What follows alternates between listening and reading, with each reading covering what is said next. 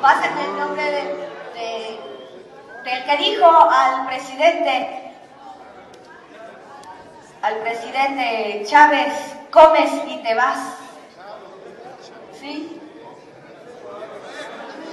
Y bueno, ahora mi queridísima- La diputada morenista Ana Miriam Ferráez fue abucheada en el Congreso de Veracruz al olvidar el nombre del expresidente Vicente Fox y confundir a Fidel Castro con Hugo Chávez.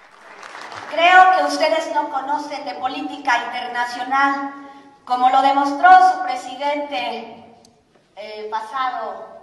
Este, ¿Recuerden el nombre? Pasen el nombre de, de- del que dijo al presidente,